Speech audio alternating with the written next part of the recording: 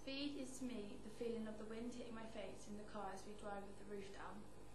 or galloping over a field on my horse and watching the trees race past me.